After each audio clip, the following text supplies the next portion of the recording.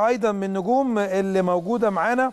في آه، إحصائياتنا وأرقامنا. ليونيل ميسي هو بطل 2019 قدر يحقق جايزتين. جائزه البالون دور كأفضل لاعب في العالم والمقدمة من فرانس فوتبول وأيضا جائزه ذا بيست المقدمة من الاتحاد الدولي لكره القدم الفيفا. ميسي خلال 2019 مع برشلونة ومع منتخب الأرجنتين لعب 48 مباراة مع برشلونة سجل فيهم 45 هدف صنع 18 هدف. مع الأرجنتين لعب 10 مباريات سجل خمس أهداف وصنع هدفين. الدوري الاسباني ونروح لمقارنة سريعة جدا بعد انتهاء عام 2019 ومقارنة ما بين ثلاثي برشلونة وثلاثي ريال مدريد الهجومي علشان نشوف مين فيهم المتفوق. فينيسيوس جونيور وجاريث بيل وكريم بنزيما في الناحية الثانية عندنا أنطوان جريزمان و آه، ولويس سواريز وليونيل ميسي. معلش في لخبطة شوية في الكتابة لكن ده لويس سواريز مش توماس مولر. مجموع اللي سجله الثلاثي الأسباني البرشلوني 30 هدف وصنع 16 هدف.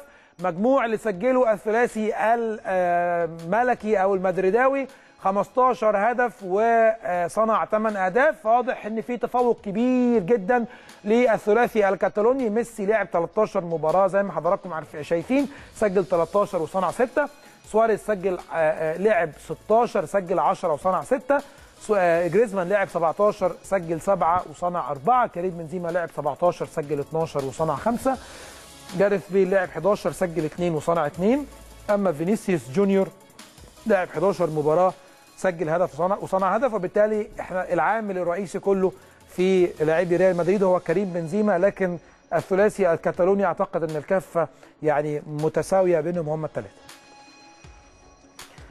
كارلس ألينا آه، اللي تم إعارته لفريق ريال سوسيداد. واللي عايزين نتكلم شوية عن إحصائياته بعد ما انتقل وشوية عايزين ندخل حضراتكم الانتقالات الشتوي ونبدأ نفكر حضراتكم بمين راح فين ومين جه منين. والبداية من كارلس ألينا ال- أو كارلس ألينيا اللي انتقل إلى نادي الريال سوسيداد على سبيل الإعارة. لعب 24 مباراة في الليجا الإسبانية في ثلاث مواسم سجل هدفين ولم يصنع أي أهداف. في دوري الابطال لعب أربع ماتشات في موسمين وأيضا لم يسجل ولم يصنع في كأس ملك إسبانيا. لعب 11 مباراة في ثلاث مواسم سجل فيهم هدف ولم يصنع أي أهداف. أعتقد إن تك... ان إن قرار إعارته في الوقت المناسب لريال سوسيداد هو قرار صائب جدا إن اللاعب ينضج ويقدر إن هو يطبق كل إمكانياته وأفكاره في ريال سوسيداد عشان هيلعب بشكل أساسي في الوقت اللي صعب جدا يجد فيه أي فرصة في صفوف نادي برشلونة. طبعا دي الفرق الأكثر متابعة على وسائل التواصل الاجتماعي في نهاية عام 2019 ريال مدريد 224 مليون متابع. برشلونة 214 مليون متابع مانشستر يونايتد 126 مليون متابع تشيلسي 81 مليون متابع يوفنتوس 81 مليون متابع بايرن ميونخ 73 مليون متابع وباريس سان جيرمان 71 مليون متابع وتوتنهام هوتسبيرز 69 مليون متابع وأرسنال 69 مليون متابع ومانشستر سيتي 61 مليون متابع. أفضل ثلاثي هجومي في الدوري الألماني من صناعة الأهداف. ده الدوري الألماني ولازم نتكلم عنه شوية ونديله حقه. عندنا لايبزيج ومونشن جلادباخ وبايرن ميونخ وبروسيا دورتموند.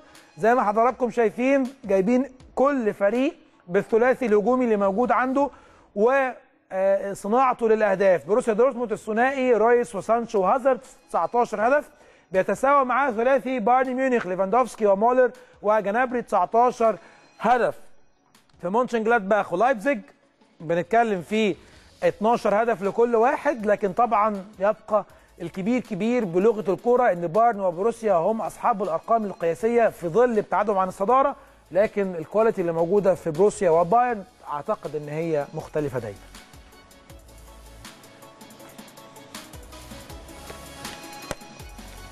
طيب نروح لصفقة آه، الموسم وصفقة 2019 واللي خطفها نادي بروسيا دورتموند من نادي سالزبورج النمساوي واللي كل كان متوقع إن إيرلينج هالاند هينتقل إلى الدوري الإنجليزي وصفوف مانشستر يونايتد بعد ما افتقد فريق الشياطين الحمر إلى اللاعب آه، المهاجم اللي دايما بيكون محطة والهداف والقناص زي ما شفنا فان نيستلروي زي ما شفنا أيضا روني ومن بعد رحيل روني وكمان بيرباتوف بعد رحيل روني أعتقد إن الموضوع بقى صعب جدا بالنسبة لمانشستر يونايتد وإنه بيدور على ال- الم- المهاجم المتواجد دايما في منطقة ال 18 ومنطقة الصندوق وإيرلينج هالاند بيعلن عن تعاقده مع نادي بروسيا دورتموند الألماني بداية من شهر يناير.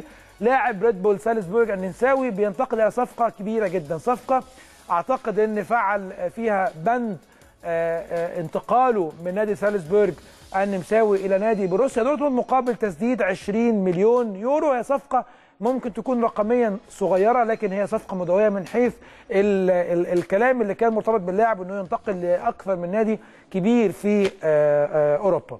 أرقام ايرلينج هالاند مع نادي ريد بول سالزبورج لعب 16 مباراة سجل فيهم 17 هدف وصنع أربع أهداف فواضح إن اللاعب متفوق جدا جدا على نفسه وحتى على الدوري النمساوي. في دوري الأبطال لعب ست ماتشات سجل 8 دايما نسبة تهديفه أكتر من نسبة مشاركته في المباريات. يعني لعب 16 هدف في الدوري النمساوي سجل 17 في الدوري أبطال أوروبا لعب ست ماتشات سجل فيهم 8 في كأس النمسا لعب أربع ماتشات سجل أربعة. مع منتخب النرويج تحت 20 سنة في كأس العالم للشباب لعب ثلاث ماتشات سجل تسعة. فبنتكلم على لاعب جبار. رونالدو خلال عام 2019 عشان مشجعين رونالدو ما يزعلوش مننا بعد ما فاز بجائزة أفضل لاعب في العالم من جلوب جلوب سوكر اللي, طبعا الحفلة اللي بتقام كل سنة في دبي. ورونالدو في 2019 مع اليوفنتوس لعب 40 مباراة سجل 25 هدف وصنع 6 أهداف. مع البرتغال لعب 10 ماتشات سجل 14 هدف ولم يصنع ولا هدف. طبعا إيطاليا ونروح ل طبعا أفضل ثنائي هجومي في الدوري الإيطالي. اليوفنتوس زي ما حضراتكم شايفين رونالدو وهيجوايين سجلوا 14 وصنعوا خمسة. عندنا لاتسيو إيموبيلي وكوريا سجل 23 هدف وصنعوا ستة. هما بالتالي أكثر الثنائيات تسجيلا للأهداف في الدوري الإيطالي أو تسجيلا وصناعة. إنتر ميلان لوكاكو مع لوتارو مارتينيز 20 هدف سجلوه مع صناعة هدفين. أتلانتا جوميز مع موريال 15 هدف تسجيلا للأهداف وست أهداف. ساسولو بيراردي وكابوتو 16 هدف سجلوهم وسبع أهداف صنعوهم. كالياري جلفا وسيميوني 16 هدف أحرزوهم وثلاث أهداف صنعوهم. زي ما حضراتكم شايفين بنحاول نجيب لحضراتكم كل الإحصائيات اللي موجودة في عام 2019 علشان ما نقفلش معاكم السنة من غير الأرقام المميزة. زلاتان إبراهيموفيتش صفقة إي سي ميلان وانتقاله رسميا ست شهور في مقابل أيضا. ممكن يعني مش أكيد إن هو يجدد عقده موسم إضافي مع الميلان في حال اتفاق أو توصل الطرفين إلى اتفاق آه لموسم آخر. زلاتان إبراهيموفيتش انتقل إلى ميلان بعد رحلة طويلة في إيطاليا وفرنسا وأمريكا. إبراهيموفيتش لعب موسمين ضمن صفوف إي سي ميلان موسم 2010 2011 و2011 2012 دي أرقام زلاتان إبراهيموفيتش مع إي سي ميلان في الدوري الإيطالي. لعب 61 مباراة سجل 42 هدف. في موسم 2010 2011 لعب 29 مباراة سجل 14 هدف. في موسم 2011 2012 لعب 32 مباراة سجل فيهم 28 هدف. في الكاس لعب خلال الموسمين سبع ماتشات سجل أربع أهداف. وبكده يكون وصلنا مع حضراتكم لنهاية فقرة ال graphics والإحصائيات والأرقام. دلوقتي هنروح لفقرة مهمة جدا جدا فقرة مباراة تاريخية مباراة في سنة 2001 في كأس الاتحاد الأوروبي بمسماه القديم المسمى الجديد اللي هو اليوروبا ليج أو كأس الاتحاد الأوروبي. في مباراة ما بين ليفربول طرف أول الطرف الثاني كان مفاجأة وهو ديبورتيفو ألافيس. أيوه ديبورتيفو ألافيس كان طرف ثاني في مباراة نهائية على أحد الكؤوس الأوروبية في سنة 2001 والمباراة ما انتهتش بهدف ولا اثنين ولا ثلاثة ولا خمسة انتهت بتسع أهداف.